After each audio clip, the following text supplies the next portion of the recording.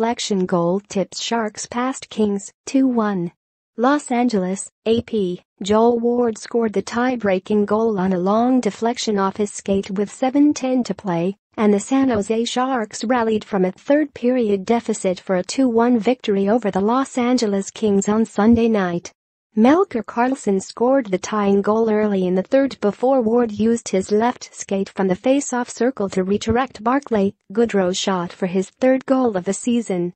Martin Jones made 26 saves for the Sharks, who have won 6 of 7 overall after evening the season series with their California rivals in a defense-dominated game.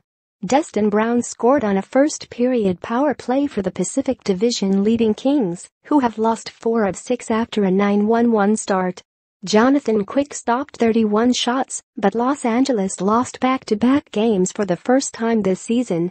Captain Anze Kopitar extended his point streak to a career-high tying eight games with an assist for the Kings, but the game was appropriately low-scoring for a meeting of the NHL's two stingiest defensive teams. The Kings went ahead in the first period on Brown's redirection of Kopitar's shot for the Kings' sixth power play goal in six games. The 33-year-old Brown was stripped of the Kings' captaincy last season and seemed to be on the downslope of his career with an immovable, multi-year contract and declining production. But the two-time Stanley Cup winner has been utterly revitalized under new coach John Stevens playing with his usual physicality while rediscovering his offensive ability. Brown scored his eighth goal of the season nearly three months earlier than he hit the same mark last year when he failed to crack 40 points for the fourth consecutive season.